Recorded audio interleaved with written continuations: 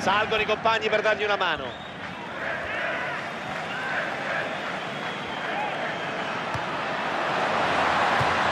Tiro respinto ma la palla è ancora in gioco.